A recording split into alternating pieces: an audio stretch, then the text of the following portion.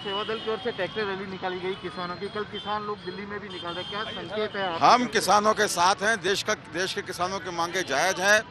केंद्र सरकार देश के किसानों की ज़मीन गिरवी रखने पे तुली हुई है, उनको परेशान करने पे तुली है, उनकी फ़सलों को, से जो उनको आय होती है, उसको गिरवी रखने पे तुली हुई है। कुल मिलाकर कॉरपोरेट सेक्टर के हाथों में जो खेल रही है केंद्र सरकार, कांग्रेस का देश का किसान इसको महसूस कर रहा है कि देश का किसान किसी भी हालत में अपनी मांगों से पीछे नहीं हटेगा और कांग्रेस हर हाल में किसानों की मांगों के साथ किसानों के साथ खड़ी है।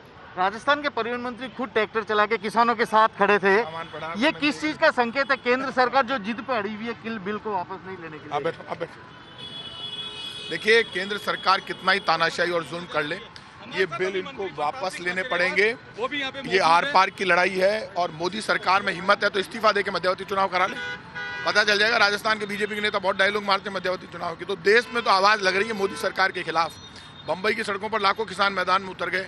साठ से ज़्यादा किसानों की मौत होगी आप में हिम्मत है तो करा लो मध्यवर्ती चुनाव सच्चाई सामने आ जाएगी। सर अब तो राजस्थान के किसान भी ट्रैक्टर लेके यात्रा पे निकले। अब तक तो कांग्रेस का किसान हो बीजेपी का हो कोई भी हो किसान की कोई पार्टी नहीं कोई जाति नहीं। किसान हिंदुस्तान की आवाम है हिंदुस्तान का अन्नदाता है। इससे लड़ेंगे तो मोदी सरकार का अंत हो जाएगा। ए- एक आखिरी सवाल सर बार बार ऐसे करे किसानों के आंदोलन को खतरा उसके कारण आतंकी नाटक कर रही है बीजेपी को शर्म आनी चाहिए बेईमानी कर रही है कभी एनआईए की बात करती है दादागिरी करती है। किसको डरा रही है? किसान किसी से नहीं डरता। आर पार की लड़ाई है। आर पार की लड़ाई है किसान किसी से नहीं डरता ये परिवहन मंत्री प्रताप सिंह खाचरियावास ने कहा और यहाँ देखिए किसानों का ये पूरा ट्रैक्टर मार्च है इसमें ये गद्दे ले जा रहे हैं, क्योंकि सर्दी का मौसम है, लंबे वक्त तक इन्हें खुद भी पता नहीं कितने दिन दिल्ली में रहना पड़ेगा।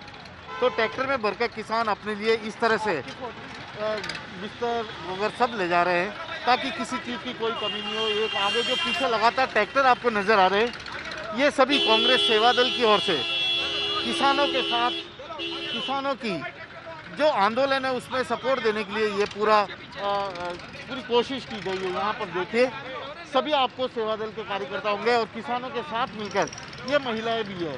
ये महिलाएँ भी है। ये भी जा रही हैं दिल्ली की ओर।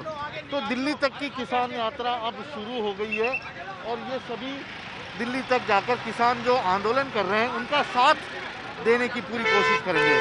कैमरामैन दिनेश कुमार के साथ श्रीवत्सन, जयपुर न्यूज़ 24